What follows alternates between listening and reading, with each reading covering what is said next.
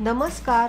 आजच्या व्हिडिओमध्ये आपण जोशी काकूंकडून लुसलुसीत पुरणपोळीची रेसिपी शिकूया. नमस्कार मी माधुरी जोशी. आमच्याकडे सणावाराला नेहमीच पुरणपोळी केली जाते. तर मी आज तुम्हाला पुरणपोळीची रेसिपी दाखवते. चला तर मग आपण स्वयंपाकघरात जाऊया.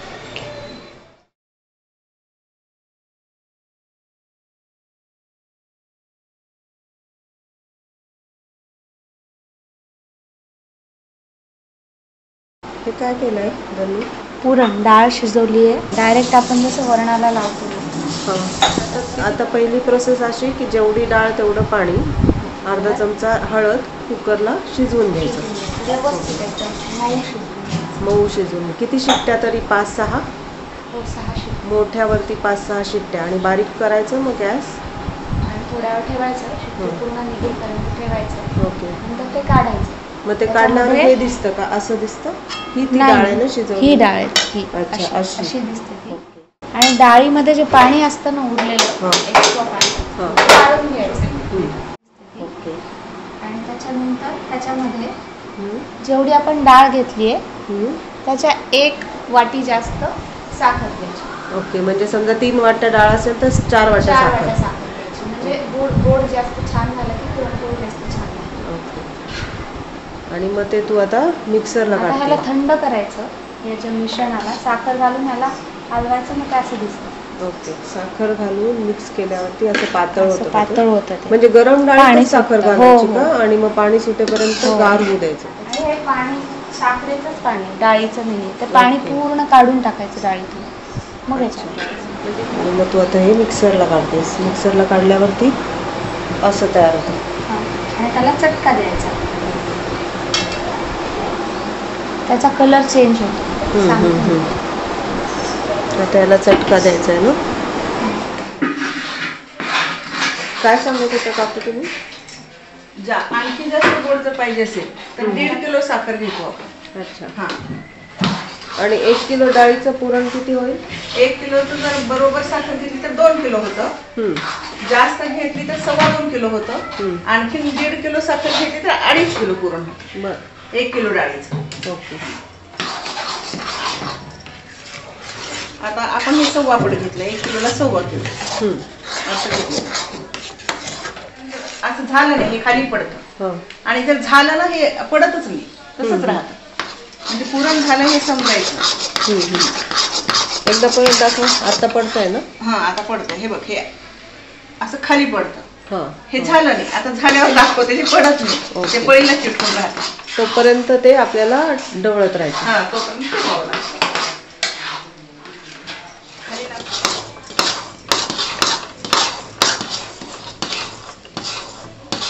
आता बघ. थांब. आता नाही पडत. हम्म. जास्त झाले. हा. हा. ओके आता पडत नाही. हा, म्हणजे हे. हा. झालं. हम्म. ओके. आता बंद करायचं का गॅस? हा आता झालं बंद. झालं आता हे.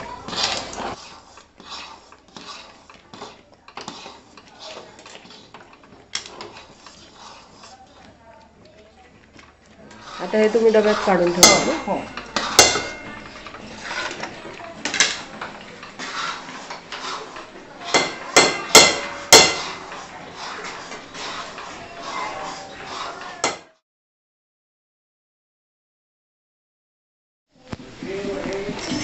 काकू आता हे पुरण गार झालंय ना करून ठेवलेलं आपण ते.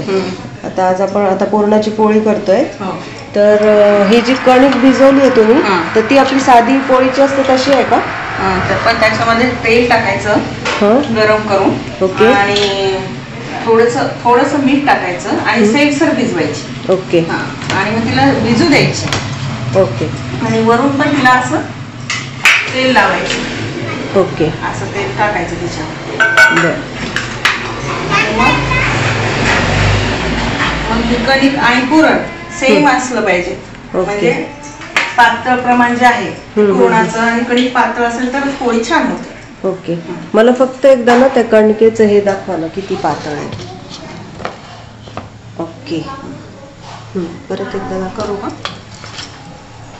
ओके अशी पातळ सैल भिजवली आहे म्हणजे आपल्या. नेहमीच्या पोळीपेक्षा खूप हा, सैल. आणि चाळून घेतली आहे ते दोन तीन वेळेस किंवा चार वेळेस तळायची ओके. आता मला फक्त ते कसं बनवतात ते इथे दाखवा जवळ. हो का? असं धरलं तर हा.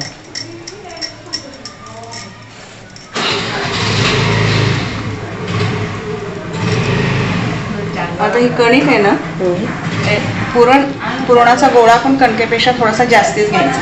हो. दोन्ही बघू मला एकदा. ओके. आणि हे कणकेत असं पुरण घालायचं. आणि याचं तोंड असं बंद करून टाकायचं. ओके.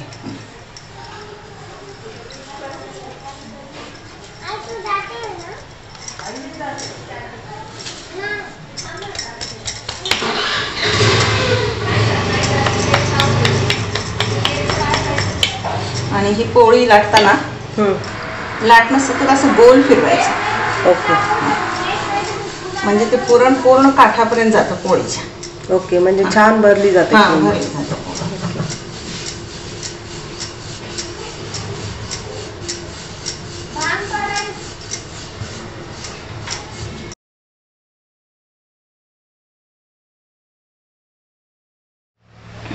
काय जुई तुला पण पोळी बनवायची. सांग ना हो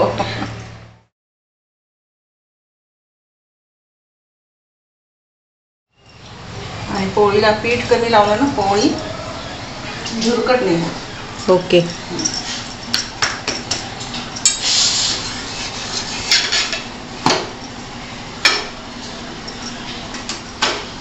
अशी झाली पोळी हम्म. टम्म फुगली आहे छान फुगली, हा. वा वा. बापरे काय ही काढायची. हम्म. फुगल्यामुळे तेल वर नाही लावलेलं तूप तव्यावर पडतं म्हणून. हे असं. ओके. हा, असं पूर्ण तूप हम्म. मस्त. आणि पोळीचं पुरण पूर्ण काठापर्यंत गेलं पाहिजे. ओके. हा. मग ती छान लागते. काल ते पूर्णाचं पाणी ठेवलं होतं कट तर तेच काय त्याची काय? मी आमटी बनवली. ओके त्या कटाची तर. तो कट ठेवला. आणि त्याला खोबरं भाजून घेतलं. खोबरं मिक्सरमधनं काढलं भाजून. मग थोडासा मसाला गोडा मसाला. आणि काळा मसाला. आणि लाल तिखट हळद. जिरे आणि ह्याची तेल जिऱ्याची मोहरीची फोडणी दिली हिंगाची. कोथिंबीर लसूण. मिक्सर मधनं काढला आलं आणि ती फोडणी दिली आणि ती कट टाकून दिला मध्ये. आणि चिंच गुळ घातला ओके. आणि वरून कोथिंबीर टाकली ओके म्हणजे चिंचेचा कोळ काढायचा आणि ते घालायचं. आणि गुळ पण टाकायचा. ओके आता तो ग्लासभर जो कट होता आपला त्याच्यासाठी तुमचं काय काय प्रमाण घेतलं चिंच गुळाचं? चिंच म्हणजे गुळाचा एक खडा समजा असा छोटासा लिंबा एवढा. आणि चिंच पण एक शंभर ग्रॅम असेल चिंच. म्हणजे छोटी वाटी भरून छोटी, असेल का? ओके. हा. आणि ते चिंचेचा कोळ आणि गुळ. आणि बाकी आल्याचा एक तुकडा पाच सहा लसणाच्या पाकळ्या. थोडीशी कोथिंबीर. आणि खोबऱ्याची एक छोटीशी वाटी ओके. एवढं सगळं